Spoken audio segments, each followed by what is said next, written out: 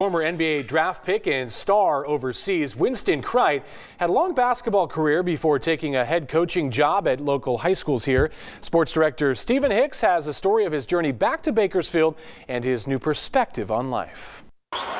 Get back! Hustle! Whether it's inside the gym at Frontier High School that's us. That's us. Or it was 35 years ago in South Highs. Go get him. Go get him. Winston Crite has more or less remained the same. Yes. Still fueled by a love for the game. We play with passion, okay? We play with purpose. Still looking for the next challenge, even after coming within hours of death. I've been given a second chance. Crite is in his second year as head coach of the Frontier Titans. Hey, Lucas, you have to front him. A school not known for its basketball. And these layups we're getting, those are the reward for the defense that you guys have played. But if we can't capitalize on that, we cannot beat this team. After 12 years, the program is still chasing its first title. Frontier obviously was the biggest possible challenge I could take. Growing up in South Bakersfield, Crite has grown accustomed to facing a challenge. We had a big rivalry at that time with BHS. It was nice to come in there as the underdogs and, and knock them off. A part of the Rebels' 1981 Valley title winning team, his time at South High was where he found his game. I began to realize that I could jump higher than other guys. I was blessed with some abilities that I needed to develop, but they were special. After South, he headed to Texas A&M, where he would play all four years. Which is almost as hard to get as a degree.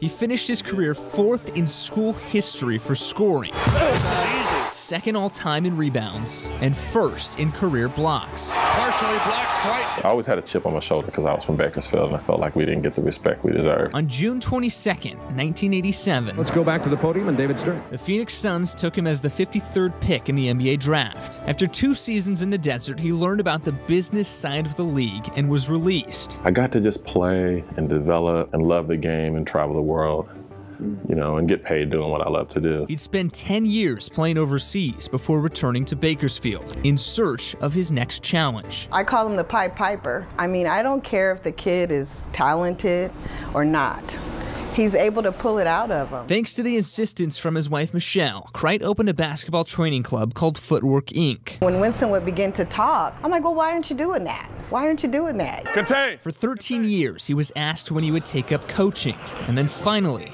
the right fit at Frontier. This is your home. You have to defend it. But last summer, the wins and losses took a back seat. I had to sit down. It was one of the first times in practice where I just said, I'm going to go over and sit down. I'll let the other coaches coach. The chest pains continued even after practice. He's laying on the couch. He's just kind of, you know, just not himself. And so I just threw a fit and said, We're going. Michelle drove him to the emergency room where they learned Winston had just had a stroke. They told me, You had about two hours before you were done. Even after the scare, his heart wasn't fully healthy, operating at just 15%. At that level of function, the risk of having bad heart rhythm, sudden death is extremely high. Dr. Rasham Sandhu, a local cardiologist, told Winston the two of them could beat the diagnosis, but that he would have to go through surgery right before preseason conditioning. I'm thinking about the boys and the team. I can't do that right now. And he goes, So, you want to live or you want to die? I go, Well, I want to live. And he goes, okay, you're, you're having surgery. Your loved one is laying there. This is my best friend.